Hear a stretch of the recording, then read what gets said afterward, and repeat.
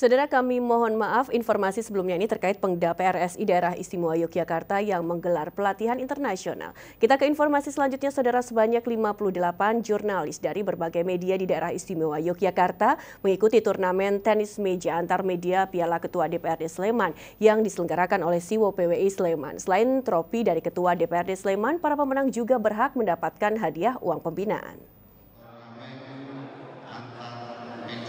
Turnamen tenis meja antar media yang diselenggarakan oleh Siwo PWI Sleman ini semula mentargetkan 48 peserta. Namun saat pendaftaran dibuka, animo awak media atau jurnalis mengikuti turnamen tersebut sangat tinggi. Hingga pendaftaran ditutup, jumlah peserta mencapai 58 peserta. Ketua DPRD Sleman Haris Sugiharta membuka langsung turnamen yang digelar di Gor Balai Desa Condong Catur tersebut. Hari Sugiharta berharap dengan turnamen ini para jurnalis termotivasi untuk lebih kompak dan memotivasi munculnya bibit atlet tenis meja. DPRD Sleman mendukung penuh untuk memfasilitasi dan mengawal penganggaran guna memajukan olahraga di Sleman khususnya dan DIY pada umumnya. Kami selalu terbuka terkait dengan tiga dan fungsi budgeting terkait dengan apa eh, anggaran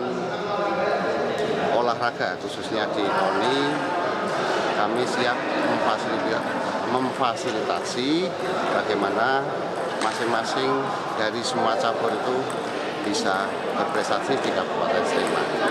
Tentu saja dengan satu catatan bahwa komunikasi yang selalu berkesinambungan antara pembina, pelatih, dan atlet itu sendiri.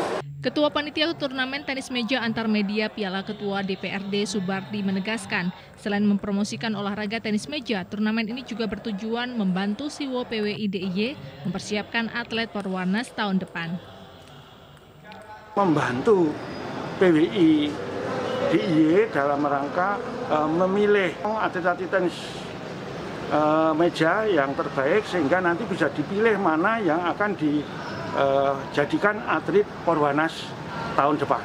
Menariknya, dalam turnamen ini semua peserta yang masuk babak 16 besar berhak mendapat hadiah uang tunai. Juara 1 hingga 4 diraih Imam dari Jogja TV, Basuki dari Sorot.co, dan Agus dari Sanmarin.co. Sementara juara 4 diraih Wisnu dari Harian Jogja.